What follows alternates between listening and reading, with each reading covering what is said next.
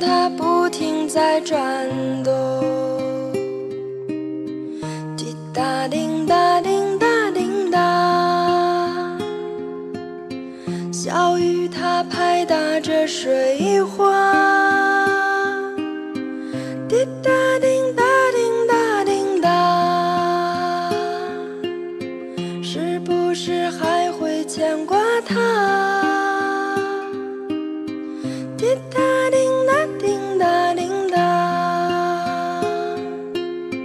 有几滴眼泪已落下。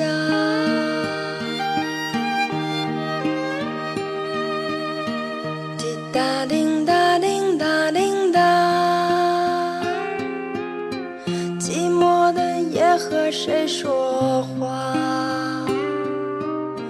滴答叮答叮答叮答，伤心的泪儿谁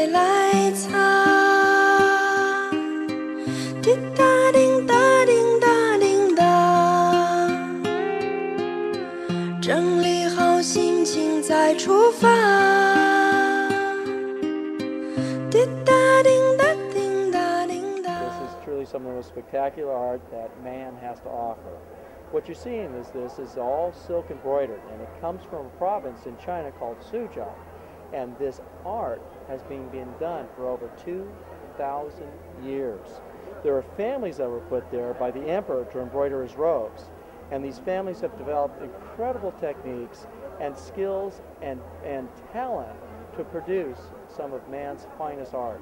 Let's take a look and I'll show you how this has been done. What they do is they'll take all the silkworms, they put them in these baskets and feed them on mulberry leaves. Once the silkworms have matured, they spin into a cocoon. They can get about 2,000 feet out of one cocoon of that very, very fine th- fiber. This is thinner than a human hair.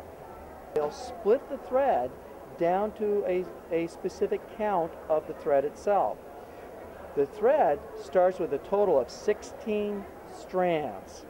Depending upon the quality of the piece, they will determine how many strands they use to actually do the work. Is it- a top quality piece that you're looking at here, they will use one to four strands to actually stitch it. These top quality pieces will take anywhere from months to years to complete.